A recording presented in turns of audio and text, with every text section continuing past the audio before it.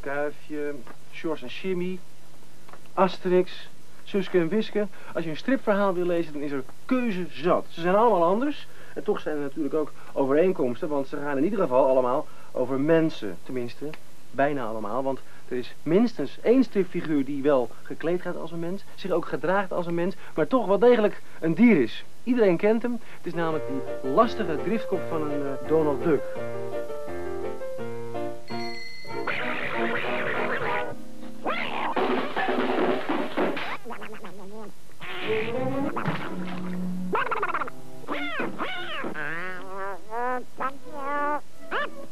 Donald Duck was een jaar of 60 geleden geboren in de Amerikaanse tekenfilmstudio's van Walt Disney.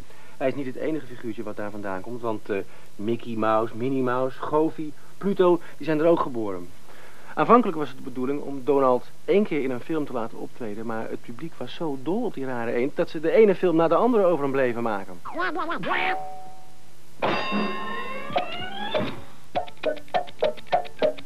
Uiterlijk veranderde al heel snel tot de Donald Duck zoals wij die nu vandaag kennen, maar zijn karakter is altijd hetzelfde gebleven. Met Donald Duck gaat alles altijd fout. In de tekenfilms en later ook in de strips.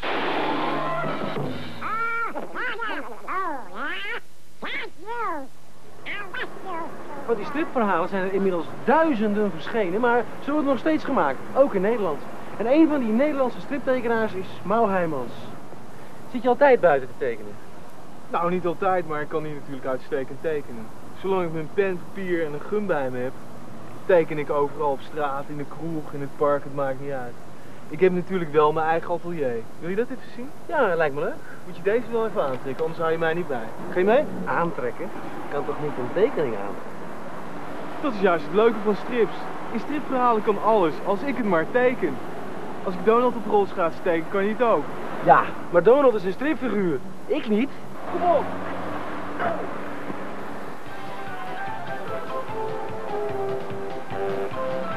Het toch televisie, geen strip?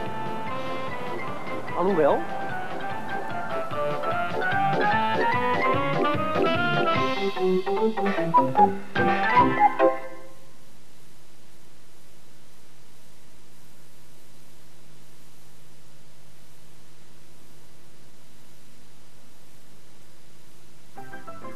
Donald Duck heeft in zijn leven al honderden avonturen beleefd. En wat voor avonturen. Wat die rare eend allemaal heeft meegemaakt, zou in werkelijkheid niet eens kunnen. Maar ja, in strips kan alles. En dus kan Donald gewoon in mensenkleren lopen. Hij kan de auto nemen, de trein. Hij kan op de maan lopen of eh, gewoon uit een vliegtuig vallen. Dat rare beest overleeft toch alles. Met Donald kun je namelijk alle kanten op. Het is dan ook niet voor niets dat Donald Duck de favoriete stripfiguur is van Mau Heijmans. Hij kan met hem doen en laten wat hij wil. Hij hoeft het immers alleen maar te tekenen.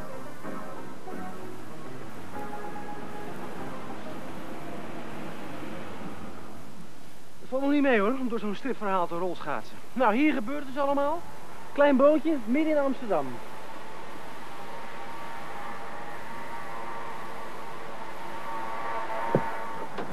Dus dit is jouw tekenboot. Ja, dat is het, ja. En hoe heb je dat nou geleerd, Donald Duck tekenen? Eh, door het gewoon te gaan doen en door helemaal gek te zijn op die eend. En waarom vind je dan juist Donald Duck zo'n leuk figuur? Nou, je merkt al heel snel bij die eend dat ik er als tekenaar ontzettend veel mee eh, kan doen. Dat zijn uh, opvliegende karakter bijvoorbeeld, dat leent zich voor zoveel uh, uitdrukkingsmogelijkheden eigenlijk. Voor diepe bedroefdheid, voor verschrikkelijke woede. Je kunt met die, die, die snavel en die oogjes kun je alles doen. En ook zijn hele lijf. Zijn, staart, zijn, zijn zwemvliezen, maar zelfs zijn petje en sterker nog het flapje van zijn petje. Je kunt er alles mee doen als tekenaar. Kun je dat, kun je dat laten zien? Ja, zeker. Nou, ik begin dus altijd met uh, een rondje te tekenen voor zijn hoofd. En dan komen hier gewoon een paar neutrale ogen boven. Neutrale snavel. Nog niks aan de hand? Niets aan de hand. Uh, een beetje verbaasd. Een beetje zoals hij altijd is. Nou, door bijvoorbeeld zijn ogen schuin te zetten. Zo schuin op zijn hoofd een beetje. Nou, dat zijn drie, vier strepen. En hij is al flink kwaad. Nou, die wenkbrauwen erboven mee laten spreken. Hop, zijn haartjes flink door de war. Dat petje dat gaat hier weg. Dat zetten we hier neer, dat laten we zo schuin. Hop, op zijn hoofd hangen. Dat flapje, dat hangt hier een beetje bij. Zijn snavel, nou echt een beetje rimpeltjes erin van afkeer, van afgrijzen. Hij begint nu inderdaad bloedlink te worden. Ja, hij begint echt razend te worden. We laten het rook van hem afslaan. En om het dan echt heel erg te maken. Hij is hier nog niet echt heel erg verschrikkelijk kwaad. Dan laten we hem echt gewoon grommen en dan komen die tanden hier tevoorschijn. Nou, dus je kunt hem ook gewoon tanden geven als je dat wil. Ja, ik kan hem gewoon tanden geven. Ik, ik, kan, hem, ik kan er alles mee doen.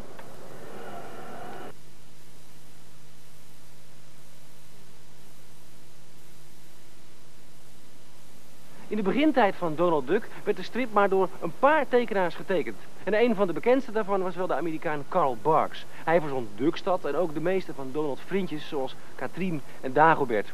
Maar naarmate die strip over de hele wereld populairder werd, waren er ook steeds meer tekenaars nodig. In Denemarken, in Frankrijk, over de hele wereld en dus ook in Nederland. En al die tekenaars, die moesten natuurlijk precies weten hoe je Donald moest tekenen. En vandaar dat ze vanuit Amerika dit model sheet, dit voorbeeldvel toegestuurd kregen. Op het voorbeeldvel staat Donald in verschillende standen getekend. Van voren en van achteren. En er staat ook op aangegeven hoe groot hij moet zijn ten opzichte van de andere figuren. Ieder detail wordt geschetst. Dat is dus handig, want zo kan iedereen een Donald Duck strip tekenen.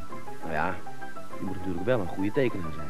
Je kunt niet uh, aan de hand van zo'n uh, voorbeeldvel uh, een hele strip gaan tekenen. Dat moet je echt zelf gaan bedenken. Je moet het zelf in je hoofd hebben op een gegeven moment. Bijvoorbeeld Donald die rent. Donald kan op duizend verschillende manieren rennen. Je zou kilometers vel nodig hebben om al die verschillende maniertjes uh, te tekenen. Dat moet je dus allemaal zelf verzinnen. Uh, ik zal je een voorbeeldje laten zien. Dit zijn uh, twee manieren waarop Donald rent. Hier op het bovenste plaatje rent hij echt duidelijk ergens naartoe. En dat kan in een bepaald verhaal echt zo getekend worden. En dat ziet er dus heel anders uit, dat rennen hierboven, dan dat rennen hieronder, waar hij duidelijk voor iets op de loop is. En zo is ieder plaatje weer anders, in ieder verhaal. Nou, teken je dat allemaal uit je hoofd? Is dat dan niet moeilijk? Nee, want je kent op een gegeven moment, als je die eend zo vaak hebt getekend, dan ken je hem zo door en door. Ik loop om hem heen in gedachten. Ik loop door Dukstad heen. Ik zie die eend door Dukstad heen rennen, vliegen en doen. Ik zit als het ware helemaal in die strip.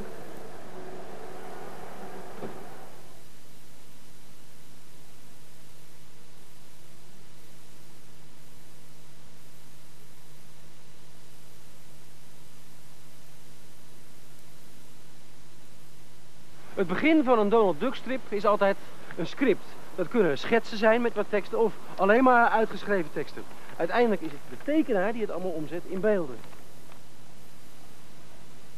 Mau Heijmans mag zelf weten op wat voor manier die Donald gaat tekenen. En omdat het toch altijd een beetje uitproberen is, begint Mau altijd met een potloodtekening. Ook de teksten zet hij er voorlopig met potlood in om te weten hoe groot het tekstballonnetje moet worden. Als alles goed in beeld is gebracht, worden de tekeningen heel precies met inkt overgetrokken en alle zwarte delen worden ingekleurd.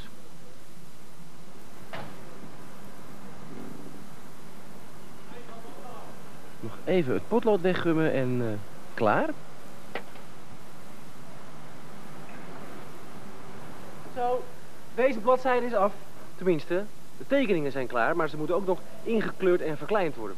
En daar zijn weer andere mensen voor. Het eerste wat ze doen is de tekening verkleinen tot bladzijdeformaat en de letters erin zetten. Die letters die staan op een apart vel, want die komen uit de computer. En die hoeven alleen maar te worden uitgeknipt en opgeplakt.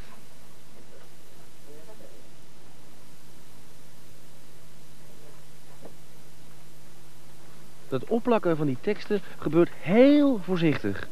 Ieder foutje of vlekje zou anders namelijk op de uiteindelijke pagina in het stripblad te zien zijn. En dan kan er ingekleurd worden met plakkaatverf. En gek genoeg hoeft het schilderen nou juist helemaal niet nauwkeurig te gebeuren.